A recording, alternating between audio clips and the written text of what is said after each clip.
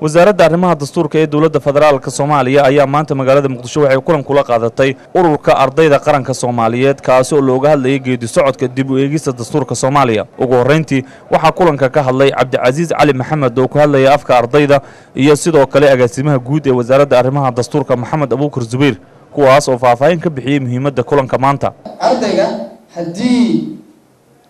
laga qaybgeliyo arrimaha watashiga dastuurka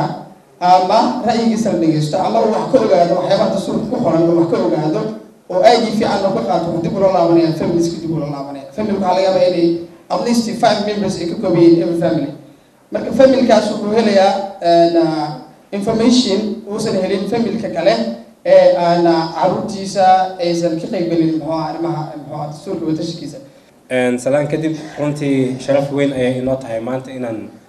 wasaaradda arrimaha dastuurka inagoo ah ku qaabilna halkan ardayda soomaaliyeed oo jaamacadaha waddanka dhigtaan wax ka barta. Waxaa igu maqaala sida uu ii sheegay guddoomiyuhu iyo xogayaha guud ee ururka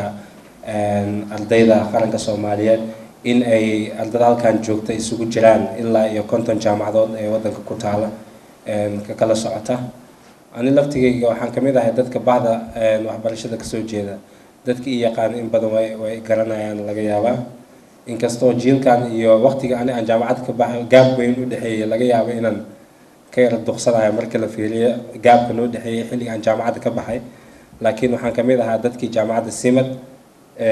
dhiganayay islamarkaasna wax ka ka baray ilaa in muddo lix sanaan jaamacadda simad macalin ka ahaa. Marka sharaf weyna ii tahay inaan maaragtay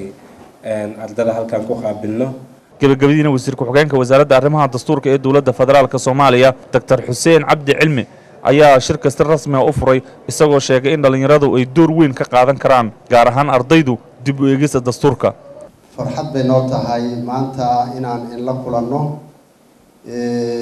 Annagoo ka tashanayna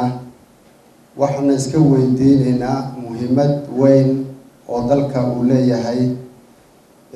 aasaasna u ah qarannimada iyo jiritaanka ummadda soomaaliyeed kaasoo ah dastuurka soomaaliya sidee